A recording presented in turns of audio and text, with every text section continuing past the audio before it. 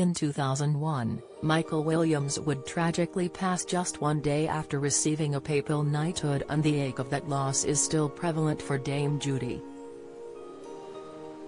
In 2020 Dame Judi and her daughter Tara Finty Williams spoke to Gaby Roslin on the That Gaby Roslin podcast.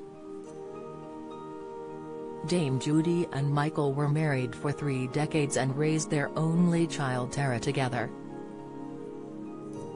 Roslin spoke of how her own mother had passed in 1997, admitting that grief can be a difficult burden to bear. Dame Judi reiterated this, saying it wasn't the best time but quickly turned to telling a story that took place years after S death. She added, presence is very much in our house and the garden, noting this is why she often talks out loud to her deceased partner. However, this one particular day Dame Judi around her house when she noticed something out of place in the bathroom.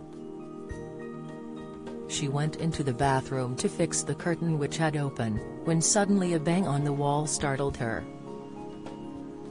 The sound, Dame Judi turned around to find a tin on the floor with the words I love you on top of it. The acclaimed actress confronted would-be skeptics, saying they can interpret it any way you like.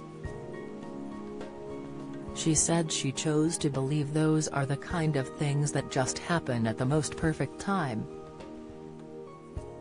At this point in the podcast, Dame Judi's daughter spoke up with her own experience of Michael's spirit in her London home. She explained she has also spoken out loud to her father, saying, I was standing in my garden in Stockwell, and I spoke out loud to Dad. Although he never saw that house, there are many reasons why I think he chose it for us. Dame Judi and Michael lived together in a six-acre estate in Surrey where they moved to in 1995. Since his passing, Dame Judi has planted a tree dedicated to as part of the memorial forest on the grounds of the estate. The passing of had left both Dame Judi and her daughter distraught after a tough battle with lung cancer. Don't Miss, had been appointed as Knight of St. Gregory by Pope John Paul II just one day before he passed. This is one of the highest honors in the Catholic Church and is awarded to those who champion and notably contribute to Catholic life. Dame Judi first met Michael when the pair were co-stars on stage for The Duchess of Malfi in 1971. The pair married that same year and would welcome their daughter in 1972. Dame Judi has often revealed that she has not recovered from the loss of however, she would later find love again, with conservationist David Mills who she met in a Surrey zoo a decade after William's death reportedly asked Dame Judi to open his new badger enclosure at the zoo.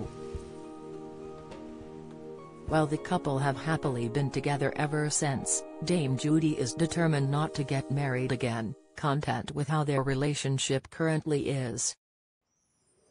Judi Dench, Our National Treasure airs tonight on Channel 5 at 9 p.m.